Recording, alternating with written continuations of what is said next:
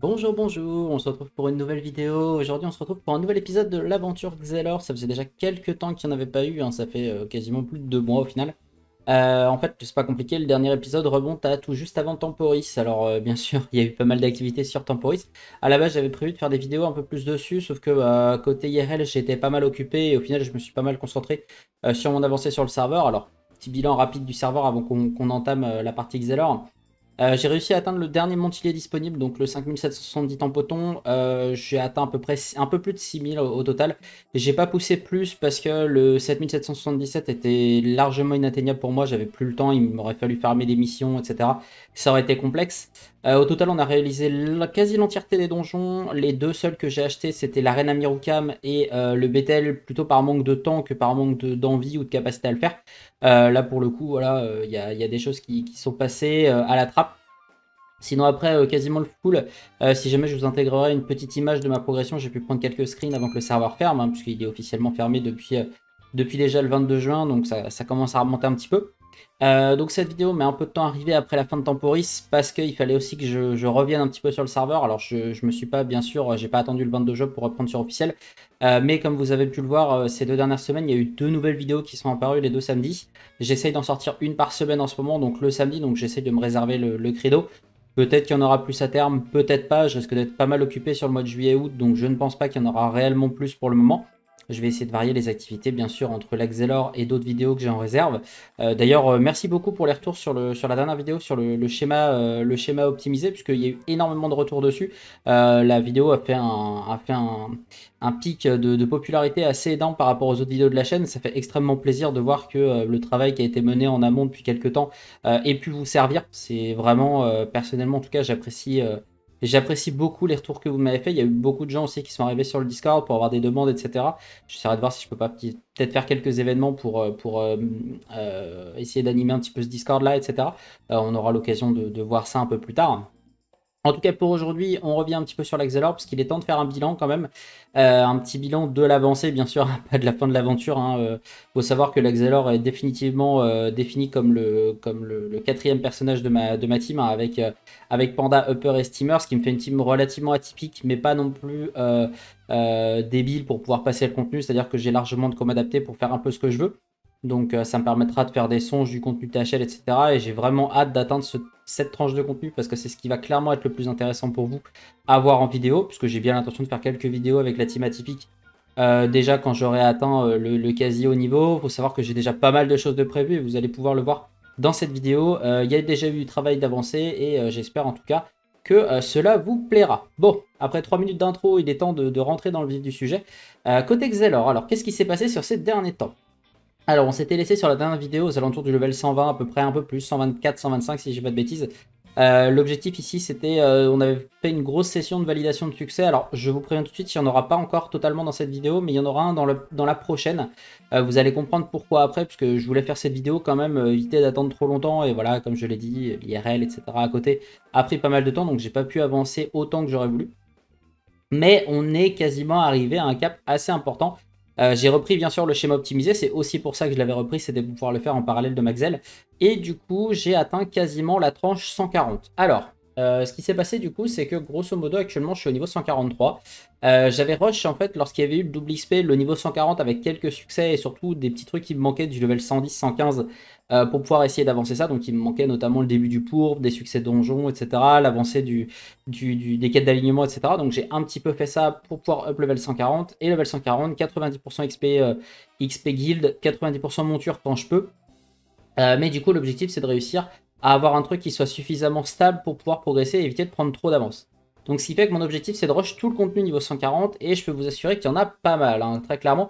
Alors au total pour ceux qui, suivent un petit peu mon document, vous allez pu voir, euh, enfin vous avez déjà pu voir qu'il y a pas mal de choses qui, euh, euh, sont indiquées sur le doc. là actuellement il me manque quelques étapes de la tranche 130, à savoir la zone Sahara H2 que je viens tout juste de commencer.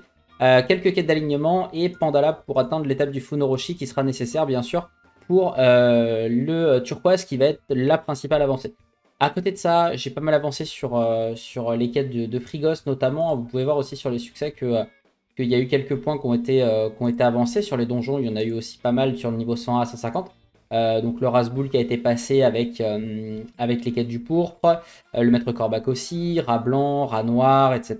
Le Punisher qui a été tapé pour la première zone pour la première zone de la dimension euh, donc que j'ai fait. J'ai fait également la première zone euh, Xelorium et Capitaine Écarlate. Capitaine Écarlate pour euh, le pour bien sûr et Xelorium pour l'ébène. Et donc mon objectif c'était d'atteindre certaines étapes particulières. Euh, on va revenner sur les 4 après, vous pouvez voir qu'il y a pas mal de succès qui ont été faits. alors il y en a certains où j'ai pris mon, mon upper histoire de voir, mais j'ai principalement... Disons qu'en fait l'upper servait pour pouvoir compléter certains succès, notamment les score idoles. Euh, mais sinon, l'objectif c'était de le taper avant avec la, avec la Xel et potentiellement d'autres persos de mon niveau, euh, ou des chevaux, etc., pour réussir à gérer le contenu. Sinon, bah, je prenais mon upper en plus pour pouvoir compléter certains points de succès. De toute manière, je vais sans doute pas y revenir, en tout cas avant le THL, donc c'était l'occasion de gratter euh, quelques points, puis surtout faire une validation de succès un peu plus sympathique. Donc comme vous pouvez le voir, passer niveau 130, il n'y a plus aucun donjon qui a été passé. il manque encore, bien sûr, comme je l'ai dit, les donjons de Pandala. Le Shenmue qui va arriver pour, euh, le turquoise, il hein, n'y a pas de souci. Le Tenril pareil, le Mansot pour le turquoise aussi. Et euh, bien sûr le Funoroshi pour le euh, turquoise. Donc il y a encore du taf à ce niveau-là. je suis allé rattraper aussi quelques petits succès, etc. qui me manquaient à plus bas niveau. des petits trucs qui traînaient. les succès des, des, quêtes de Kanya, etc. Des trucs qui vraiment traînaient depuis le niveau 50, 70, etc. là j'ai pas mal avancé sur le sujet. Ce qui fait que j'ai terminé d'ailleurs le succès en question, les deux premiers succès de Kanya. Euh, on va, s'intéresser directement aux quêtes, hein, ça, ira plus vite. Euh, donc euh, les quêtes de Kanya, si vous allez ici, hop, j'ai terminé donc Kanya Blanca qui me manquait et ça en valait la plaine. Qui me demandait notamment de, taper la haute truche et le maître Corbac. C'est l'occasion de, faire ça en même temps. sinon, à côté de ça, bon, bah, quelques quêtes qui traînaient, le ballon du château notamment. Qu'est-ce qu'on peut noter aussi? Il y avait. Oula, j'ai plus, plus tout en tête malheureusement pour de Madrestam, bien sûr. Euh, il me reste encore les quêtes de Coca Colac à faire parce que c'est des quêtes de drop et que les zones sont en malus. Euh, mais euh, en fait, à partir du 15 août, il va y avoir toutes les zones en bonus. Donc on va monter à 90% pratiquement dans toutes les zones. Donc ce sera plus simple pour drop. D'ici là, j'ai pas trop besoin de, forcer le truc. sinon sur le reste, donc Pandala, j'ai vraiment rien touché pour le moment. Donc niveau contenu, techniquement, je suis un petit peu en retard, mais ça devrait le faire. donc voilà, j'ai juste fait la première quête d'intro qui était nécessaire. Sinon, il faut que je commence les quêtes du dojo. Et normalement, ce qui devra être fait pour la prochaine étape, euh, c'est euh, de quel bois je me chauffe va être terminé. Euh, on va arriver jusqu'à... Il me semble que c'est le festival de la lanterne dans le Domakuro. des larmes de pierre devra être fait aussi. sous le nuage des cendres, il me semble qu'on doit pouvoir faire quasiment toutes les quêtes sauf une qui nécessite le Funoroshi. Et sur les quêtes du dojo, normalement je devrais les avoir terminées. Là je ne les ai pas encore commencées parce que j'ai pas entamé Pandala. Mais il faut savoir que c'est une quête par jour, hein, c'est toutes les 24 heures. Donc ça devrait pouvoir s'enchaîner assez euh, facilement. Donc voilà, l'objectif c'est d'atteindre le turquoise, passer le Fonoroshi dans le turquoise et ensuite terminer les quêtes de Pandala pour pouvoir arriver à obtenir le Domakuro qui dans les faits ne va pas m'être super utile sur Xelor mais peut toujours être pratique pour la suite. Voilà, c'est toujours, euh, toujours bonus. L'objectif c'est clairement le Dorigami qui lui va être un petit peu plus euh, intéressant. À côté de ça, sur le reste, il y a eu 2-3 petits trucs qui ont été terminés. après, c'est pas non plus, pas non plus grand chose. Hein. Il y a c'est des succès, la plupart que vous avez déjà vus si vous avez déjà regardé les, vidéos précédentes. Euh, comme je l'ai dit, donc j'ai repris les, quêtes de Saharash. Euh, il y a quelques petits trucs aussi qui sont apparus entre temps, notamment ceci. Donc voilà, j'ai terminé l'entièreté du cours, qui était, bon, qui était relativement simple. Hein. La dernière fois, je n'avais pas du tout commencé. Là, j'ai enchaîné tous les donjons et les étapes. Je ne l'ai pas encore validé, comme je l'ai dit, je ne valide les succès qu'à la fin, donc je n'ai pas encore le pourpre sur moi, donc ce qui va changer un petit peu sur les stuffs faut compter que dans la réalité, il y a 40 de puissance en plus, à peu près sur tous les stuffs, puisque je joue en, vigoureux de base, et que c'est lui qui est censé sauter pour ça. Euh, sinon, après, sur le reste, euh, j'ai pas avancé sur les avis de recherche, j'ai pas spécialement avancé sur l'alignement, je suis juste à la 41 ou 42, je crois, donc voilà, c'est pas euh, énorme non plus. donc voilà, c'était histoire de. j'ai également, donc comme je le disais, fait les premières zones de chacune des dimensions pour pouvoir taper les donjons qui sont associés. et sinon, une autre petite particularité aussi, c'est que j'ai avancé sur les quêtes de la fratrie. Alors, euh, je sais plus, je crois qu'ils sont dans la quête principale, si je dis pas de bêtises. Euh, alors, je sais pas encore terminé, hein, il me manque euh, la toute dernière quête, puisque j'ai quelques soucis à affronter la, reine des voleurs avec, Toxine. Enfin, affronter Toxine avec la reine des voleurs, plutôt. faisons les choses dans le bon sens. D'ailleurs, vous l'aurez sans doute en vidéo quand j'aurai réussi à la passer, c'est juste que j'ai fait 2-3 tries et que j'avais pas le temps de continuer, donc j'ai laissé ça de côté. J'essaierai de, tenter un petit peu plus le combat par la suite. Sinon sur le reste, alors Almanac, j'ai toujours pas avancé, il faudrait que je le fasse parce que j'en ai, ai avoir besoin sur mes autres persos à terme, donc euh, autant en profiter. Surtout c'est des succès que j'ai jamais euh, spécialement focus. Sinon à côté de ça, j'ai terminé l'intégralité des succès Doppel. Hein, depuis la dernière match, pour ceux qui sont pas au courant, le nombre de challenges nécessaires pour les Doppel est passé de, 10 à 5, donc 3 jours en fait, et c'était plié, donc j'ai eu l'occasion de, faire ça rapidement. Est-ce que j'ai toujours, ouais, j'ai toujours ma liste de, tous mes de tous mes élixirs en réserve, donc voilà. sinon après, j'ai gratté aussi quelques succès mob qui me manquaient, je crois qu'actuellement, ce qui me reste à faire où j'ai le niveau, voilà, Arachne, il me manque parce qu'il manque la gardienne des égouts, bien sûr. pour les Minos, il me manque pas mal de la zone qu'il faudrait que j'aille faire, et Koala, qu'après c'est quelques petits détails. Là, dans les faits, euh, il me suffirait de retourner en colosse et je pourrais les faire. Qualac mortel, ça se fait tranquille. Primitif également. Euh, ça va venir avec le temps. Il faut savoir que, comme je le disais, dans les quêtes, pour ceux qui ont suivi le, guide euh, rapidement, il y a deux donjons sur l'intégralité du jeu qui ne sont demandés par aucune quête directement, dans le sens où l'étape en question ne vous demande pas explicitement d'aller affronter le donjon. et ces deux donjons, du coup, c'est Dragneris et le Carnosaur. Et du coup, bah, j'ai pas focus les succès mobs, mais vu que j'ai pas tapé les donjons en eux-mêmes, euh, bah, je les ferai plus tard, tout simplement. Je pense que j'essaierai de les faire avec, avec du full succès. Euh, c'est juste que là, pour le moment, je m'en suis pas trop euh, occupé. pour les rats, ben pour les rats, il manque encore quelques rats un peu partout. Alors, je crois qu'en plus, ceux-là, c'est ceux, c'est ceux des souterrains d'Amakna, radioactifs, radégoûtants. Ça doit être ceux des, villes classiques, donc il n'y a pas de raison que, que ce soit pas fait. Corbac, j'ai pas fait le succès, j'ai pas fait le challenge au boss, parce que j'avais je plus, j'avais un truc genre euh, élitiste, euh, élitiste sur le maître Corbac, un truc comme ça, mais j'ai pas fait le succès premier dessus, ou je sais plus. Euh, enfin, c'était c'était chiant. Et sinon, Doppel, bah, dans tous les cas, vu qu'il me manque le Doppel Darkblood, j'ai pas cherché à focus. Sinon, après, j'ai d'autres succès que je peux faire, que je vais faire tranquillement en parallèle. Donc voilà, d'ailleurs, pareil pour lui, je le ferai en, tapant le Shenmue. pour le reste, il n'y a pas eu grand chose en fait. Surtout que j'ai avancé, j'ai plein de succès, vous allez voir. Vous allez voir. mon objectif, c'est d'éviter les valider d'ailleurs. Euh, donc vous voyez, il y a beaucoup de succès en tout genre, il y a vraiment de tout et n'importe quoi. Vous pouvez voir qu'il y a quelques, quelques ornements qui traînent. Euh. il y, a moyen de se faire, euh, il y a moyen de se faire un petit peu de kama avec cette validation, mais j'attends d'avoir terminé tous les succès du niveau 140 pour, pour valider tout d'un coup, d'avoir passé le turquoise surtout, et qu'en fait à un moment où, où, je sois bloqué, je rush tout et je rush par exemple le 160 pour pouvoir me stabiliser niveau stuff. Ça me permettra d'être un peu plus tranquille pour la suite. Donc voilà. Euh, on fait un petit point au niveau des stuffs. Là, ça va être assez court. J'en ai fait, du coup, bah, j'ai refait tous les stuffs que j'avais avant, hein, tout simplement. Donc, j'avais un stuff terre et un stuff feu. Il faut savoir que la voie feu a un petit peu changé sur le Xalor sur la dernière mage. Euh, et à côté de ça, je vais faire un mode de chaque élément. Ça me permet de varier les, activités, puis surtout varier les gameplays. Et euh, de ce fait, du coup, on retrouve un mode terre. Alors, je vais mettre les stats en détail pour que vous puissiez avoir la force et la puissance. Et aussi la portée. Donc un mode terre à peu près, à peu près 1000 de stats, un peu plus, 1050 euh, de stats hein, si vous calculez précisément, avec, euh, avec un bon taux de crit. Mon objectif c'est d'avoir un peu de crit. C'est pas forcément, euh, pas forcément énorme, mais disons qu'un rayon obscur qui a une chance sur 3 de crit, c'est toujours bénéf. Sachant que le rayon obscur en état de téléfrag fait à peu près entre 800 et 1000 actuellement, vu que je l'ai pas encore au rang 2. donc c'est plutôt pas dégueulasse quand, il s'agit de spam avec un petit peu de crit, enfin 800 à 1000 en crit hein, bien sûr. Euh, donc autant dire que, ça fait quelques dégâts, c'est plutôt agréable. Euh, donc, euh, donc voilà. Pour le mode en question, bah, c'est tout bête. J'ai gardé mon amulette croquière que j'avais déjà avant parce qu'elle donne des crits, des stats, etc. Bon, elle est, elle est transvita parce que je l'ai depuis un bail. Hein, cette c'est une de mes amies préférées du jeu. donc voilà, puis Osef du Red PM, donc j'en profite. le, double item, le double item Tanuki parce qu'il donne une bonne base de force et surtout il y a des crits sur les items, 5% crit ici, 3% crit ici. Donc c'est bénéf. Les bas du parce que 60 force c'est toujours bénéf aussi. 12 euh, de crit c'est cool, 8 d'eau, enfin bref, euh, les stats habituels. Les Light Dragueuf en arme de chasse. Euh, donc histoire d'avoir un. histoire de pouvoir fermer le chasseur. Je vais vous montrer juste après ce que ça donne. Bien sûr la cape du Melou à ce niveau là qui est vraiment cool. 50 hein, force, 15 puissance, 7 d'eau. c'est toujours agréable. en plus de ça, ça permet de, servir des autres sorts aussi pour taper, donc c'est plutôt pratique. Euh, je, pense, à des sorts comme Perturbation par exemple ou Gélure qui sont plutôt pratiques en mode terre, euh, suivant les situations. Le Solomon bien sûr qui est là avec l'Exopéa que je vous avais déjà montré dans un, précédent épisode. Hein. L'objectif c'est de garder un Exopéa, il est réutilisé aussi sur le mode R. Euh, le bouclier, c'est un petit bouclier d'As que j'ai sur 3 sur 4 de mes modes, pour les crits notamment, mais aussi pour les stats, les deux sorts. Ce qui me permet de jouer distance comme mêlée, ce qui est bien, pratique. Et euh, le petit but de bisou niveau stade, puis après sur les trophées, je pense que vous les reconnaissez vous-même. Euh, j'ai un observateur et j'ai que 3 PO, j'ai pas cherché à maximiser la PO sur un mode terre, c'est pas spécialement ce qui est le plus intéressant. A noter que j'ai l'émeraude en réserve que je, peux, euh, mettre à la place du vigoureux quand je vais besoin d'un peu plus de tanking, vu que c'est mon mode avec le moins de vita actuellement, donc ça, peut être, ça peut être pertinent.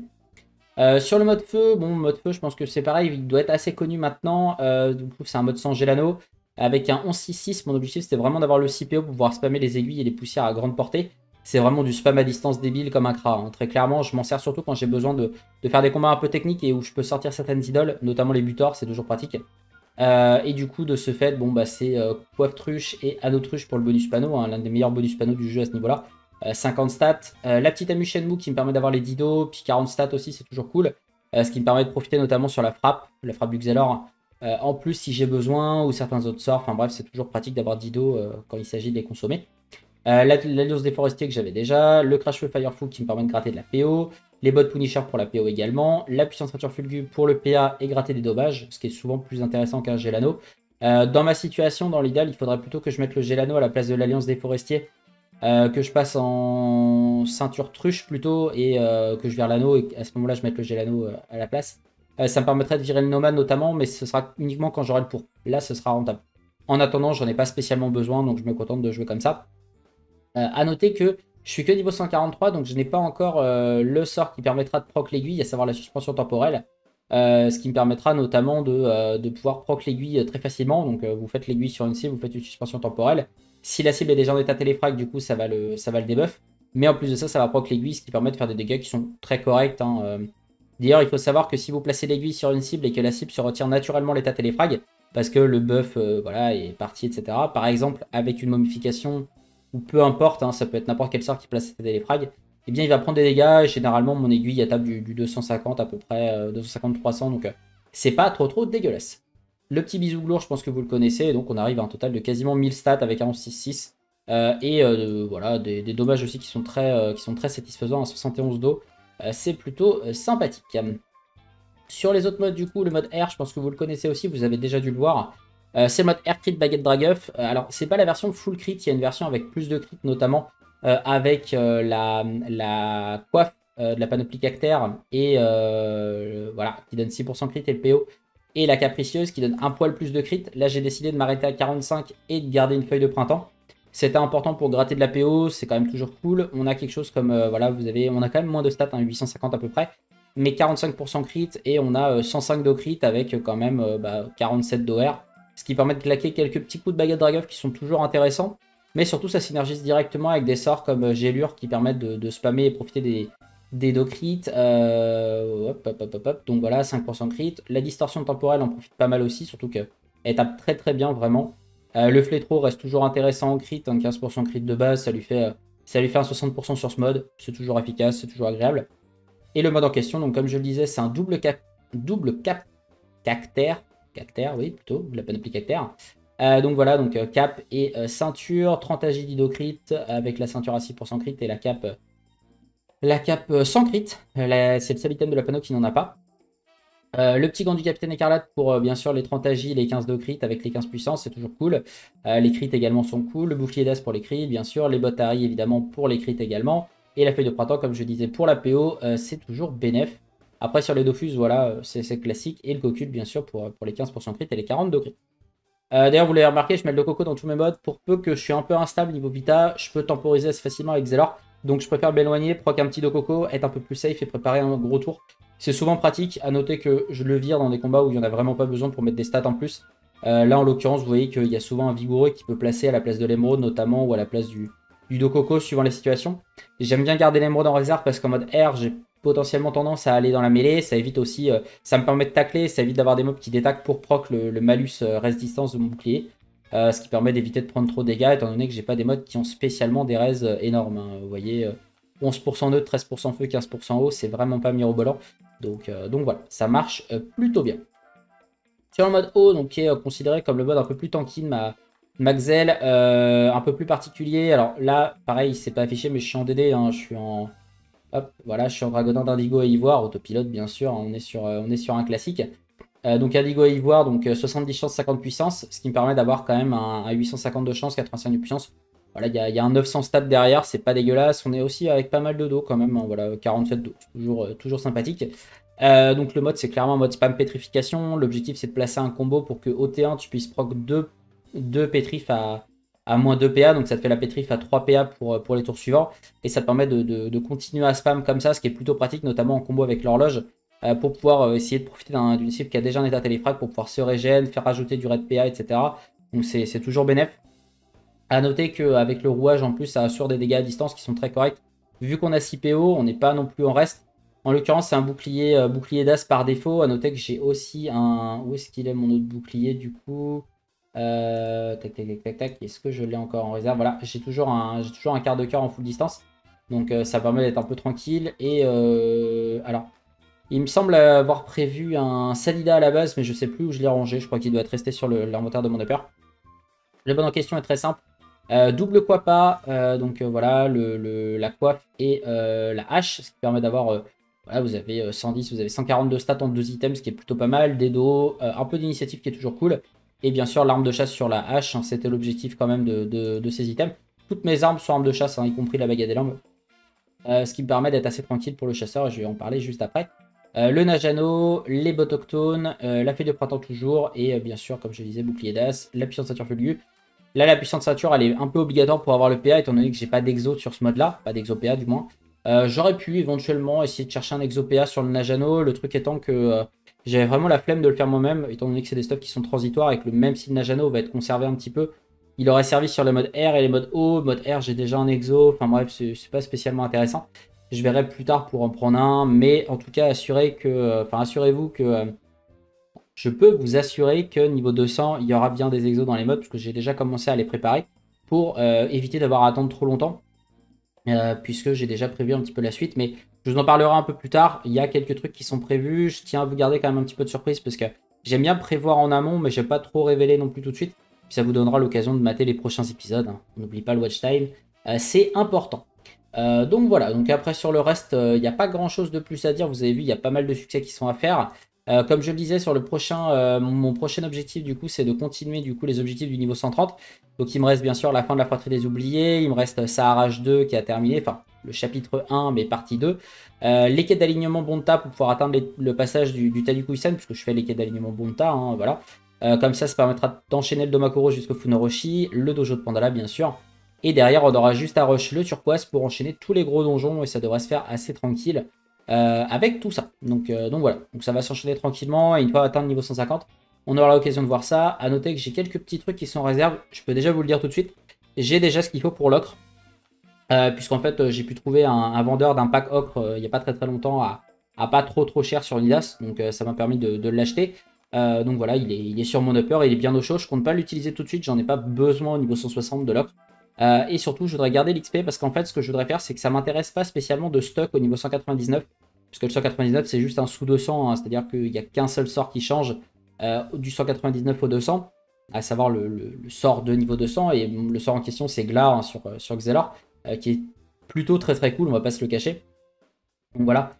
et donc mon objectif, c'est en fait de, que quand j'ai besoin de rush, que j'arrive au 190, que je puisse passer du 190 au 200. quasiment, et donc c'est pour ça que je me réserve la quête ocre jusque là. Euh, par contre, voilà. Euh, je pense... Alors, j'hésite encore parce que soit je fais ça et du coup, j'attends le 200 pour taper le contenu, soit je rush la quête ocre dès le niveau 160. Je saccage un petit peu l'XP et je me contente seulement de faire les succès. Et du coup, je pourrais vous montrer ce que ça donne d'avoir le 4 sur 6 sur la progression du joueur, comme j'ai intégré dans mon doc.